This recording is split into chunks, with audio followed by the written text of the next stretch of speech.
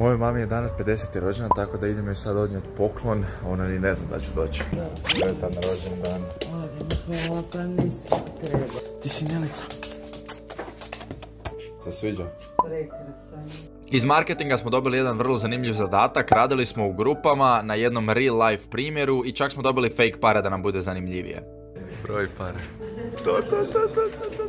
U ovom kvartalu se dosta fokusiramo na marketing i na praktičnu primjenu rješavanja problema case studije, tako da to je fakat brutalno. Dok sam ručao, gledao sam imena Geđija, mislim realno top G za financije i pošto radimo doma, išao sam raditi i zivkat ljude, a nakon toga sam se čuo sa Josipom i pričali smo o novim projektima. Pripremamo najveći izazov na ovim prostorima, a više informacija ćete saznati uskoro. Tokom dana sam saznao da je Čiro Blažević umro, tako da počiva u miru, bio je legenda i vidimo se u sljedećem vlogu. Ćao!